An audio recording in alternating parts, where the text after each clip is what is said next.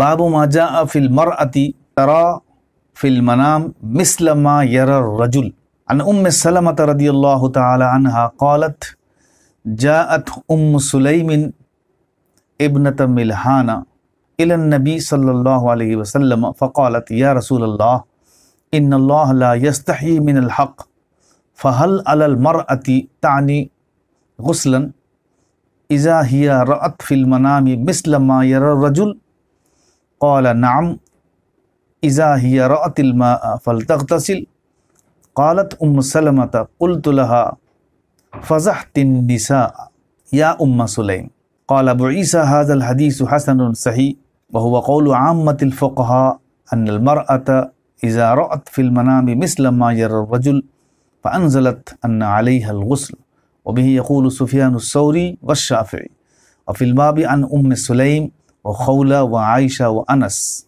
ये बाब जब औरत ख्वाब में देखे, उस तरह जैसा कि मर्द देखता है। यानी जैसे मर्द को एहतलाम होता है, औरत को जब एहतलाम हुए तो इस सिलसिले में ये बाब है। इसमें हज़रत उम्म सलमा रदी अल्लाह तहा जो असवाज मतहरात में से हैं, उनसे मरवी है।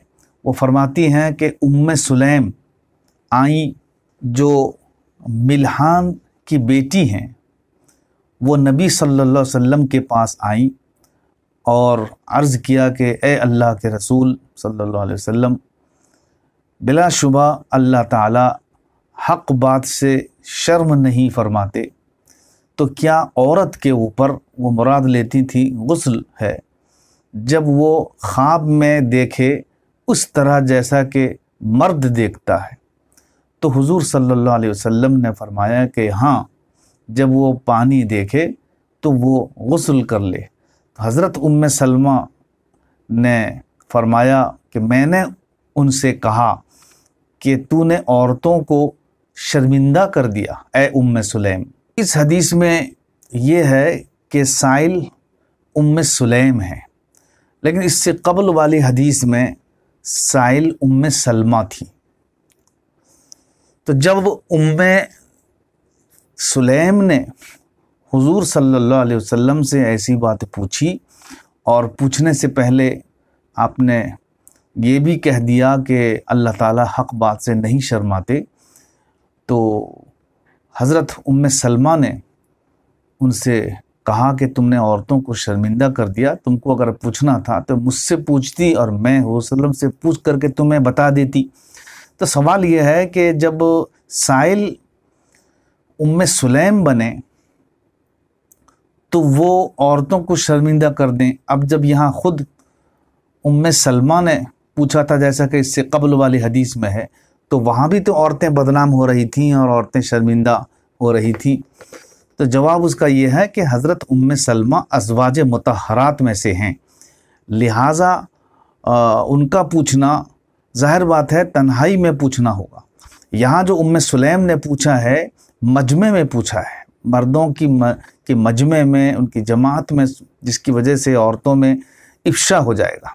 इसलिए उन्होंने कहा कि फ़ज़ह तिन निसा कि तुमने जो है औरतों को शर्मिंदा कर दिया है। तो मसला इसमें सबका इत्तेफाक है। अगरचे इमाम तिरमिज़ी अलैहि ने फरमाया कि वबी यकूल सुफियान सऊदी व शाफ़ी हालाँकि सबका इसमें इत्तेफाक है कि औरत के ऊपर भी जब उसको अहतलाम हो जाए और तराहट देखे ख्वाब में बेदार होने के बाद तो जैसे मर्द के ऊपर गसल वाजिब होता है तो औरत के ऊपर भी गसल वाजिब होगा। मगर फिर भी इमाम तिरमिज़ी रहमतुल्लाह अलैहि ने बिही यकूल सुफियान सौरी व शाफ़ी फरमाया इससे मालूम हुआ कि जिन फ़ुकाह कराम का मज़हब सनत के साथ इमाम तिरमिज़ी रहमतुल्लाह अलैहि को पहुँच चुका है, उसको नकल फरमाते हैं। इसका बयान पहले से भी हो चुका है और यह उनकी आदत है कि जिनका बयान सनत से नहीं पहुँचा है, जिनका मज़हब सनत के साथ उन तक नहीं पहुँचा है, वो उसको नकल नहीं फरमाते हैं। इसलिए अमलन बिल एहतियात एहतियात पर अमल करते हुए वह ऐसा नहीं करते हैं। वो चाहते हैं कि जिनका मज़हब मेरे पास सनत के साथ पहुँच चुका है, मैं सिर्फ़ उन्हीं अम कराम के मज़हब को बयान करूँ। इसलिए इमाम तिरमिज़ी ने यहाँ ये रवैया अपनाया और फरमाया कि वह भी यकूल सौरी व शाफ़ी अल्लाह आलम। बाबुन फिर रजुली यस्तदफ़ी बिलमरअति बादल गुस्ल।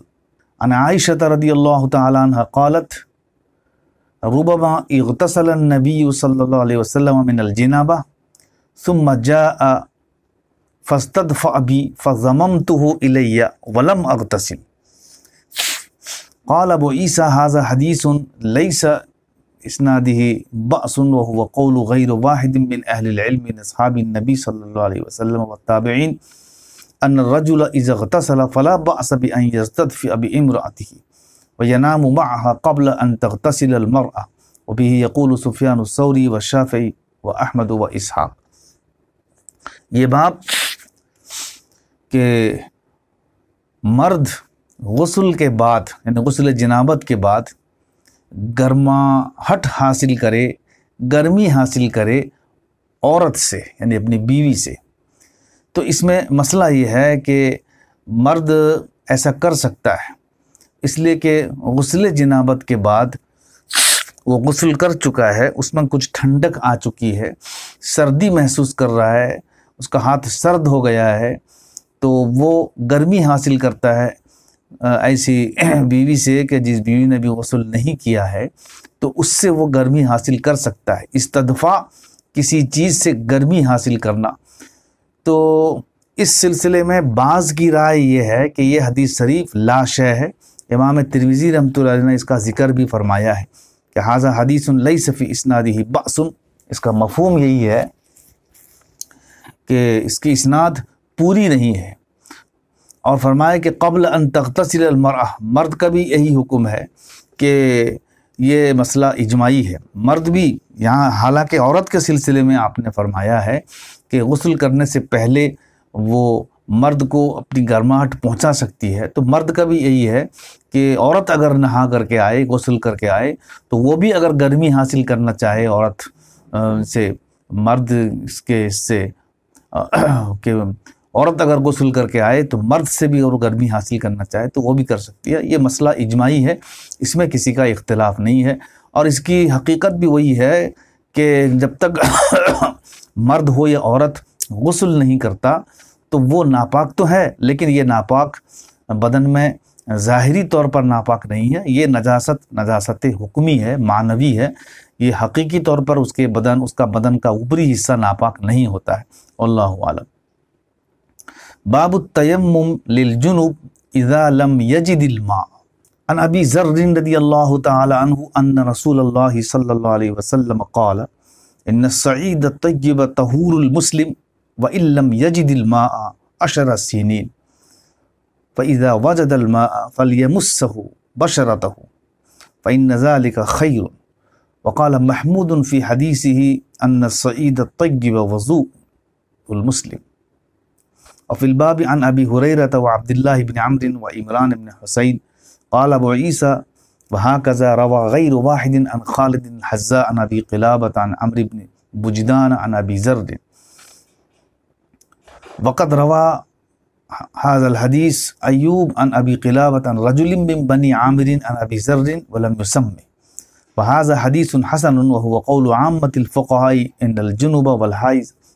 लम यजिदिल मा तयम्ममा वसल्लया वयुरवा अन अन इब्न मसूद अन्नहु कान ला यरा तयम्मम लिल जुनुब व इल्लम यजिदिल मा वयुरवा अन्हु अन्नहु रजा अन क़ौलिही फ़क़ाल तयम्मम इज़ा लम यजिदिल मा व बिही यक़ूल सुफियान सौरी व मालिक व शाफी व अहमद व इसहाक़ ये बाब तयम्मुम के बयान में है जुनूबी के लिए जब वो पानी न पाए तो जब पानी न पाए, जैसे वज़ू करने वाला तयम्मुम करेगा, ऐसे ही जुनूबी भी जब वो पानी न पाए तो वो तयम्मुम करे।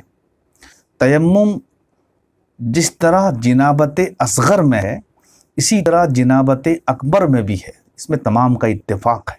मगर सलफ़ में इख्तलाफ रहा है, हज़रत इबन मसऊद रदी अल्लाह तु हज़रत इबन उमर रदी अल्लाह तु और हज़रत इब्राहिम नख़ी रहमत के नज़दीक जनाबत असगर में तयम है, लेकिन जनाबत अकबर में तयम नहीं है, ये सलफ़ में से बाज़ लोग हैं जिनमें इख्तलाफ रहा है। लेकिन इनका रुजू भी बाज़ लोगों ने कौल किया है कि उन्होंने इससे रुजू कर लिया है। बाज़ ने कहा कि वो किसी हमत की वजह से कौल किया करते थे, वरना उनका मज़हब भी वही था जो जमहूर का है। ये दूसरी राय ज़्यादा करीन कयास है, यानी जिन लोगों ने कहा कि उनका मज़हब भी जमहूर का मज़हब है, लेकिन हिकमत की वजह से कि लोग इसको बहाना न बना लें, इस वजह से वो ये कौल किया करते थे। तो ज़्यादा कयास के करीन ये दूसरी राय हज़रत इबन मसूद रदी अल्लाह तु का मकूला है कि वलऊ भी सनतिन, यानी अगर एक साल तक भी पानी न मिले तो तयम नहीं करेगा। जब उनको हज़रत उमर रदी अल्लाह तु और अम्मार रदी अल्लाह तु के वाक़े की तरफ़ तवज्जो दिलाई गई तो फरमाया कि अलम तर अन्ना उमर यानी जो साहिब वाक़ है, वो ख़ुद इसका मुनकर है। हज़रत अबू मूसा अशरी रदी अल्लाह तु ने कहा कि आयत में फ़तयमू सईदन से तो मालूम होता है कि जनाबत कुबरा में भी तयम है। तो हज़रत इबन मसरूद रदी अल्लाह तु खामोश हो गए और कहा कि हम जो ये कहते हैं कि ये तयम नहीं है, वो सिर्फ़ मसलहत की वजह से है कि लोग इसमें सुस्ती न करें और इसको बहाना न बुलाने मसलहत के तौर पर ऐसा कर सकते हैं कि कोई मसला ऐसा बता दिया जाए जिसमें तफसील हो और इस तफसील को मुखातब न समझ सकता हो। एक साल का मतलब यह है कि वो जुनूबी जो वाकई माजूर नहीं है, वो एक साल तक भी तयम नहीं कर सकता। मगर मुखातब समझेगा कि वो जुनूबी जो वाकई माजूर है, वो भी साल भर तक तयम कर सकता है। तो जुनूबी तयम कर सकता है। हनफिया ने इस मसले को कुरान से निकाला है और गैर अहनाफ ने हदीस से निकाला है। मगर चाहे कुरान से हो या हदीस से हो, इसमें सभी का है इत्तेफाक कि जिस तरह से तयम जनाबत असगर में है, उस तरह से तयम जनाबत अकबर में भी है। हदीस में फल युमिस्सा का जो माना है वो पानी खाल तक पहुँचाए बशरत का लफ्ज़ आया है। यानी धोए उसमें के, हज़रत मालिक, हज़रत इमाम मालिक रहमत इसमें दल्क नहीं फरमाते हैं, जिस, जिसके कायल हज़रत इमाम मालिक रहमत हैं। यानी अपने इसको, अपने हिस्से को पानी खाल तक पहुँचाए, यानी धोए, इसमें दल्क नहीं। अगर इमाम मालिक रहमत इसे इस्तलाल करेंगे तो दुरुस्त नहीं होगा, इसलिए कि इसमें दल्क की चीज़ नहीं। हालाँकि दल्क को इमाम मालिक रहमत फ़र्ज़ करार देते हैं। तो ज़ालिका तुहरुन, ये मुशारुन इले मा है ज़ालिका का जो मुशारुन इले है, वो माउन है, यानी पानी मिट्टी से अफजल है। उसका मुशारुन इले इमसा से माँ नहीं है, वरना इतराज़ होगा कि पानी के पाए जाने के वक्त में इमसा से माँ, यानी धोना तो ज़रूरी है, न कि खैर, यानी बेहतर इसलिए जालिका के मुशारुन इले को ये मुतन करना पड़ेगा कि इसका मुशारुन इले माँ है। फलयुमसू में जो जो इमसा से माँ है, वो इसका मुशारुन इले नहीं है। अगर उसके, उसको मुशारुन इले बनाएँगे इमसा से माँ तो उसमें यही एतराज़ होगा कि पानी के पाए जाने के वक्त में तो इमसा से माँ, यानी धोना तो ज़रूरी है, खैर थोड़ी है, यानी बेहतर थोड़ी है। अल्लाह आलम आप देख रहे हैं यम ए आर बी दीनी मालूम यूट्यूब चैनल। चैनल को सब्सक्राइब करें, वीडियो को लाइक और शेयर करें। फेसबुक ट्विटर इंस्टाग्राम और टेलीग्राम पर आप हमें फॉलो कर सकते हैं। हमारी वीडियोस आप अपने चैनल पर डाल सकते हैं। हमारी तरफ़ से इजाज़त है। हमारे साथ व्हाट्सएप पर जुड़ने के लिए आप अपने व्हाट्सएप से अपना नाम और फुल एड्रेस के साथ ऐड लिखकर हमारे व्हाट्सएप नंबर एट को मैसेज करें। और हमारा काम पसंद आए तो गूगल पे फ़ोन पे या बैंक अकाउंट के मदद कर सकते हैं।